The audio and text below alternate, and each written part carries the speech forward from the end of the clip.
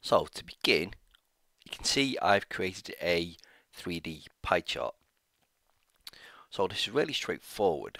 So what we need to do is whichever slice of the pie chart that you want to explode, you select that slice of pie chart. So if I first click on my pie chart, it will select all of the data. And if I select again, I've selected just a single slice of the pie chart. And now if I right click and from these options, right click options, if I select format data point,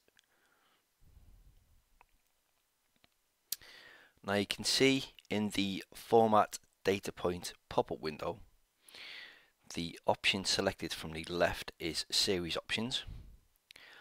And what I'm going to do is I'm going to adjust the value in the point explosion. So I'm just going to adjust this value to around 20%. And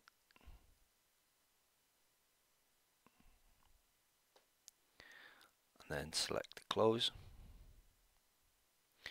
And you can see a single slice of our pie chart has been exploded or extracted from the other sections of our pie chart. So you can see this is very effective. It makes it really emphasizes your selection of data in your pie chart and can help to convey that to your audience. Um, if you wanted to set this back so it didn't have the explosion in your pie chart, again, just make sure that single slice of pie chart is uh, selected. And again, just right click and select format data point.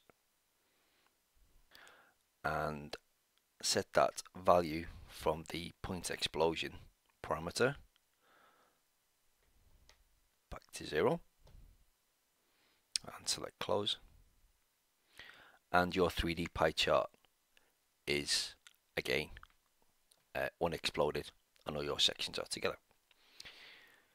Okay everybody, very short one today.